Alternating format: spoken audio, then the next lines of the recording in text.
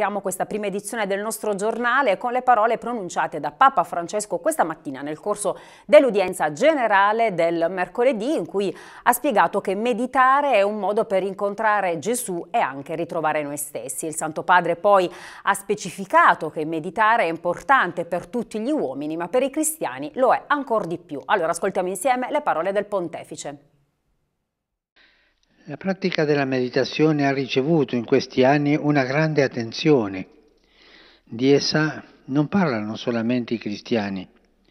Esiste una pratica meditativa in pressoché tutte le religioni del mondo, ma si tratta di un'attività diffusa anche tra le persone che non hanno una visione religiosa della vita. Però ci accorgiamo che questa parola, una volta accolta in un contesto cristiano, assume una specificità che non deve essere cancellata. Meditare è una dimensione umana, necessaria, ma meditare nel contesto cristiano, noi cristiani, va oltre, una dimensione che non deve essere cancellata. La grande porta attraverso la quale passa la preghiera di un battezzato lo ricordiamo ancora una volta, è Gesù Cristo.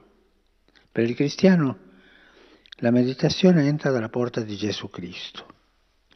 Anche la pratica della meditazione segue, segue questo sentiero.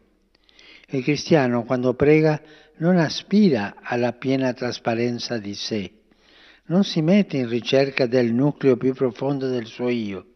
Questo è lecito, ma il cristiano cerca un'altra cosa la preghiera del cristiano è anzitutto incontro con l'altro, con l'altro ma con la maiuscola, l'incontro col trascendente, con Dio. Se un'esperienza di preghiera ci dona la pace interiore o la padronanza di noi stessi o la lucidità sul cammino da intraprendere, questi risultati sono, per così dire, effetti collaterali della grazia della preghiera cristiana, che è l'incontro con Gesù.